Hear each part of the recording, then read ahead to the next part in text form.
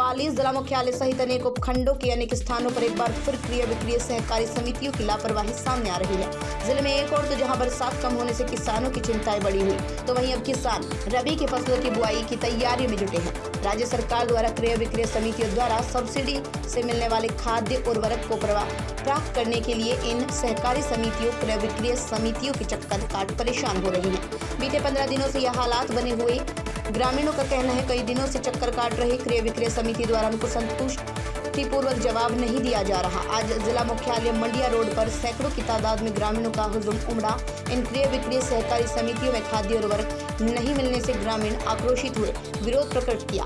यही हालात ज़िले के अनेकों खंडों में बने हुए हैं। लोग खाद्य उर्वरक के लिए क्रय विक्रय समितियों के चक्कर काट परेशान हो रहे हैं। सुरेश कुमार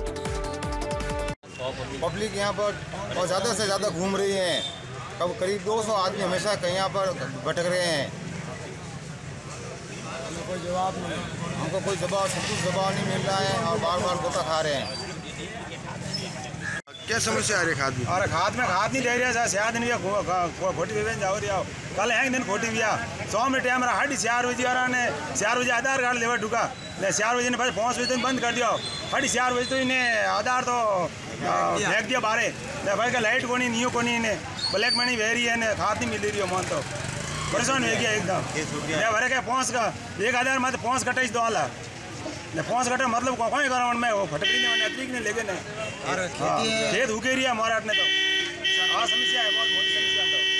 और हम परेशान हो गए। परेशान हो गया भरे हैं